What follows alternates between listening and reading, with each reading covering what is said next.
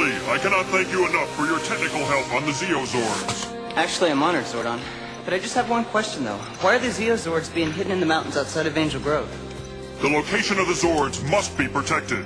The mountains may prevent them from being picked up by Mondo's scanning systems. The Zeozords will be the most incredible fighting machines ever. Hmm, I certainly hope so, Alpha. But I do think we need to test them fully before the Rangers use them.